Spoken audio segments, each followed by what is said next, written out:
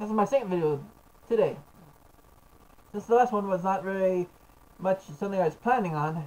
I mean, it's something, but it was something that was bothering me or on my mind.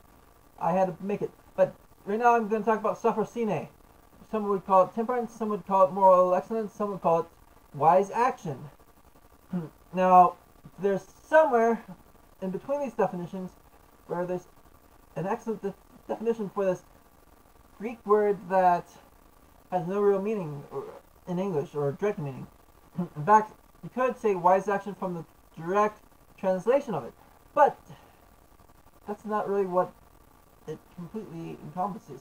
Because if you read Charmides, you can actually get a good grasp of what it is by Socrates when he's talking. He talks about pankration, he's talking about all these different activities, boxing, and what makes a beautiful technique versus a one that's not beautiful. Sloppiness versus uh, something that's fluid and it shows a certain skill mastery. And so, from this, you could say that Sophrosyne is a sort of moral smoothness, or, in other words, a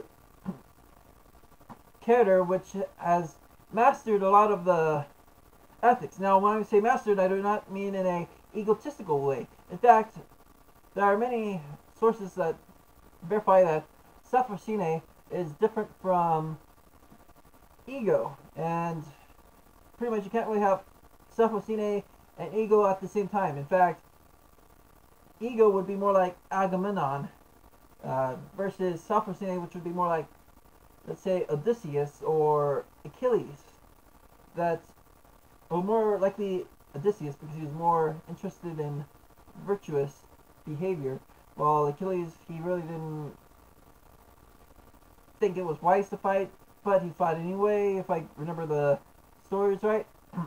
and uh, he also was concerned a lot with fairness, so when Agamemnon pretty much stole his uh, concubine, uh, Achilles protested, like he should have, uh, because Agamemnon was acting on ego, while uh, Achilles was acting with Sophrosyne, uh, I mean, and at the same time, we can say that ego would be the actions of Menelaus, who was very complacent when his uh, wife Helen uh, was cheating on him with Paris, and through this, he complacency, a lot of evil happened because the whole entire uh, Trojan War took place and killed many lives, just because uh, he wasn't able to deal with these things on his own. In fact, he asked pretty much that the whole entire nation stands up for him to get Helen back instead of uh, handling the situation in a more virtuous way where it wasn't so selfish and uh, pretty much using the might for personal gain. At the same time, this now put more modern examples of Sophrosyne versus ego. Now, Sophrosyne in action, this is harder to say from a modern perspective than ego.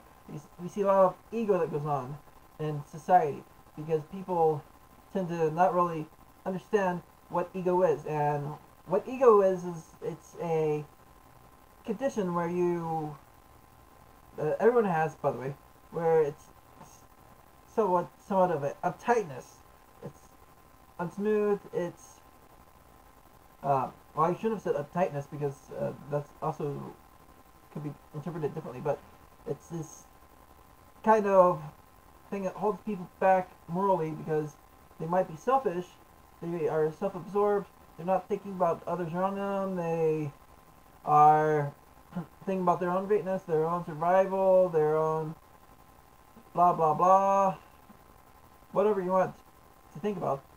That's ego. They're not really looking towards self-cultivation uh, or the good for others.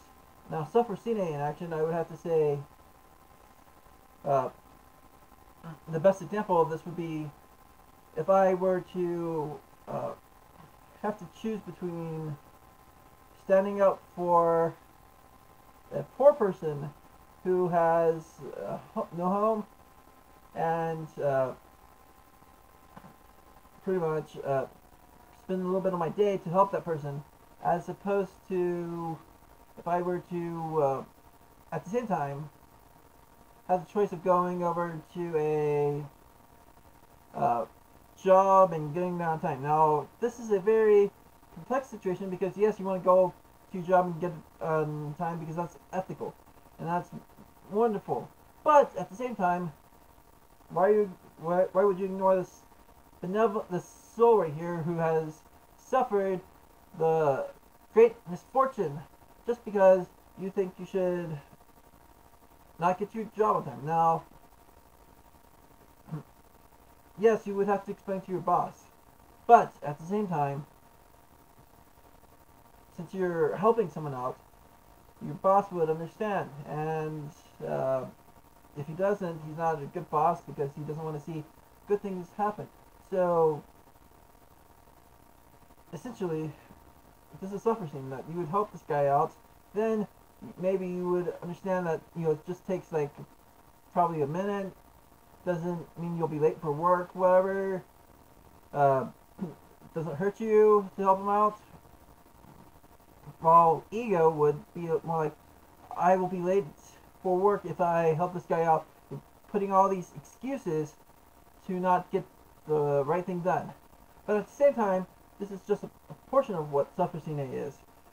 So Sophrosyne to obtain it, you have to pretty much have a well balance of moral character. So, and out of this well balance of moral character, you have to pr practice daily, every single virtue you can, and try your best to conflict uh, or combat every vice you can until you can actually smoothly, more easily have this mindset, which would be what Sophrosyne pretty much is, that you would more easily be able to look for the right thing to do. It's a more hero type mindset, but you're not really bragging because if you're bragging, then it's a thing which is not Sophrosyne.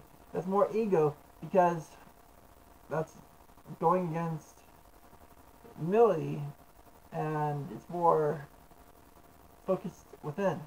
Now, on other people's opinions. Now, people have their own opinions on this or that. They might trip you up by saying blah blah blah, blah blah blah. But at the same time, if you're being Sophrosyne, do you ignore their opinions? Do you accept their opinions? Do you consider it? Well, these two are bad, so I'd have to say the other option, that you would consider it. Now, if you consider it,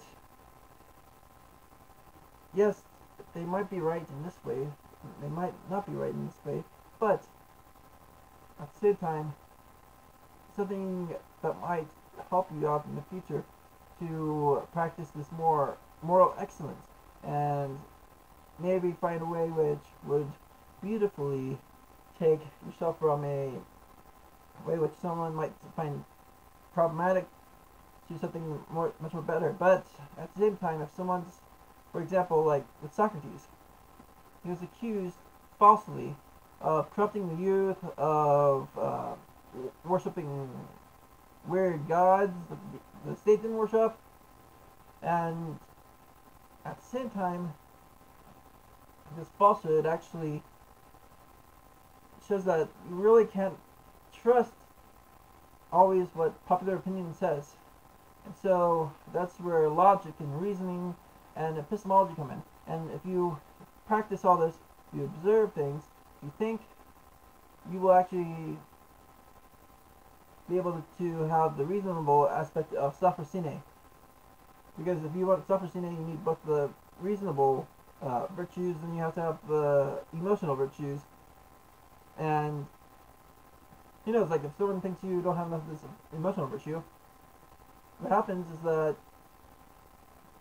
if you're considering it and all you can actually whether or not that person's right you can actually tweak it just a tiny bit which will make you a little bit more Sophrosyne because if it's a problem, one person might notice, another person might notice, another person might notice, but that doesn't matter. If it's a problem, and you see it yourself, because like even though doxa or a popular opinion isn't worthless, it's uh, a friend is concerned with something about you, you gotta think about it. And if it's right, it's right. If it's wrong, it's wrong. It doesn't matter. But you just gotta think in the long run. Is this gonna help my moral character? Is it not? They think uh, you're not practicing. If you, they think you're a little bit on this side where you're showing a little bit of uh, rudeness, you might consider it and combat it with the opposite so that you can actually more eloquently speak without rudeness. If they think you are uh, angry a lot, you've got to consider it. And in that, you can fight the uh, anger and loosen up. They think you're arrogant, well, whether or not you're actually arrogant, you might want to practice the humility a little bit more, and uh, because you're considering it, and while you're considering it, you're also doing a practical moral action to combat this or that, and in that you will be able to practice Sophrosyne. And remember, or, or Sophrosyne. Remember, this is the last point. Sophrosyne is not only a virtue, it's not only a mindset, it's something that needs to be practiced. It's a skill set. You have to uh, consider things. You have to work on it. It's just like uh, learning how to box. It's just like learning pankration. It's just like learning a guitar, uh, reciting poems. Something that, or even delivering an oratory speech. It's something that goes over time. You will not be necessarily Sophrosyne in a day. You will show some aspects of Sophrosyne as you practice, but at the same time, if you want to uh, practice and get great Sophrosyne, you will actually have to work at it. And if you work at it, that means to not be just concerned about the theory of ethics and morals, but to actually do the ethics and morals. And with that, I hope you enjoyed this video. Is the first video on my talks of a modern Platonicism. Please like, comment, subscribe. If you have any uh, concerns, questions, comments, link, or give me your comments in the description, or, or, or I mean in the comment box.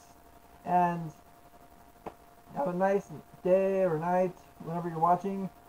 And as part of my uh, recommendations. Since I don't have a single book of this, but rather it's an anthology of book, I would say this book, The Complete Works of Plato. It's a really great book. It will help you understand a lot of philosophy. As Charmides, which is the book I'm recommending mostly, uh, as a Platonic dictionary to tell you about the Greek philosophical terms and what they mean, and it has every book or and dialogue and letter and even the laws written by Plato. And it's a fascinating book because it can actually help you study and you're gonna if you wanna uh, keep on watching my videos on Platonicism, it's actually a pretty important book to have so that you can follow along and think about Platonicism and we can perhaps talk and establish a uh, modern Platonicism and stop this superficial Neoplatonism, which has been uh, bothersome because people are practicing these little uh, superficial magical rituals, whatever, instead of actually studying the philosophy and learning how to uh, reason, how to be a better person, and uh, all these different sciences that are within ancient Greek philosophy. Thank you for listening. Stay tuned in the next video, You're gonna love it.